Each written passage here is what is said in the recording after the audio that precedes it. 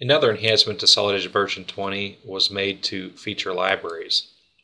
If we look in our feature library for our industrial remote, you can see that we have several features that are representative of a battery box.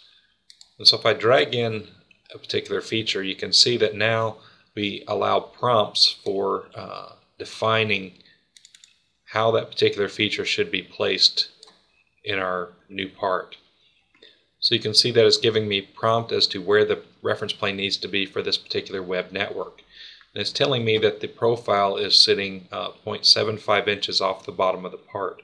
Uh, in the past we would have no indication on where exactly uh, this component should be placed other than the sketch that you see as you drag it in. I'm going to temporarily close this dialog box so we can see our uh, part on the screen. And what I want to do is just create a parallel reference plane off of the bottom of the part and I want to come up 0.75 as the uh, prompt told me. The next thing you see that it gives me this dangling dimension. I'm not sure where that goes, so I'm going to again reopen my dialog and it tells me that that dimension is from some point to the middle side of the battery box. I'm just going to pick up this whole location.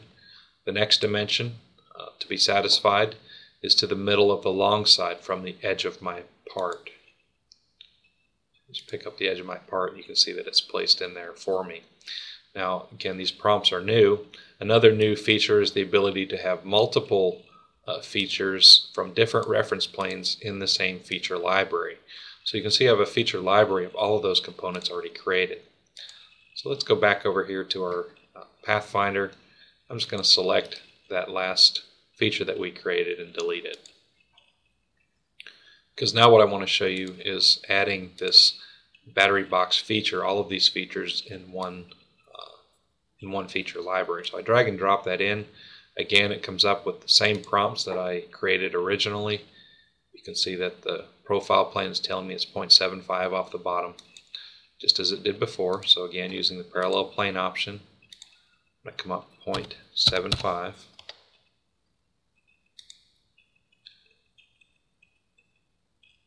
And now when I drop that, it's going to begin adding these uh, particular features from the feature library.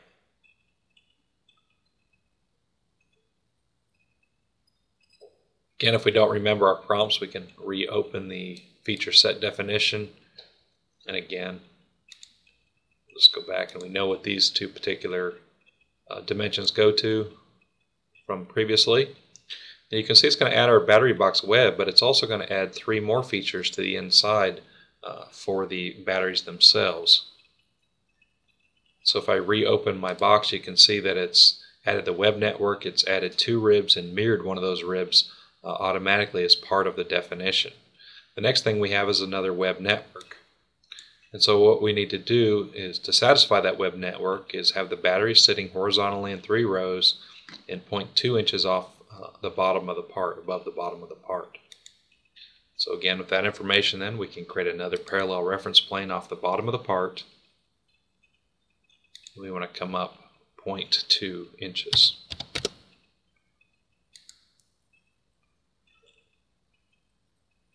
You can see the blue lines indicate uh, where that's going to be placed, so if we just drop our sketch uh, close to that, it's going to be able to reattach those dimensions for placement very easily.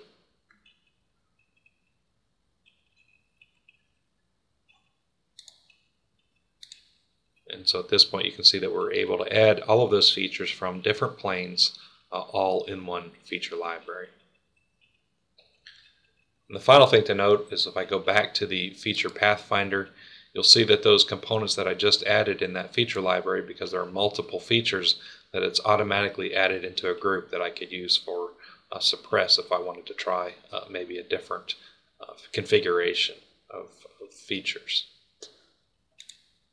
Very, very nice functionality in version 20.